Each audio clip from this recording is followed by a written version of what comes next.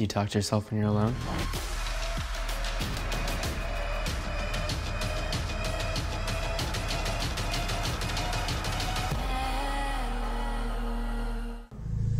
What do you say?